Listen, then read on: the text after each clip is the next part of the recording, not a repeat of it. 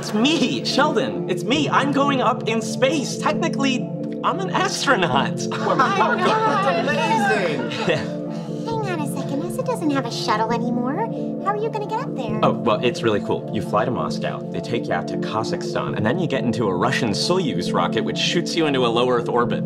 Or just sits there on the launch pad because the Kazaki mafia sold the rocket fuel on the black market. Are those Russian rockets safe? Well, I'm as safe as it can be when it was built by the good folks who brought you Chernobyl.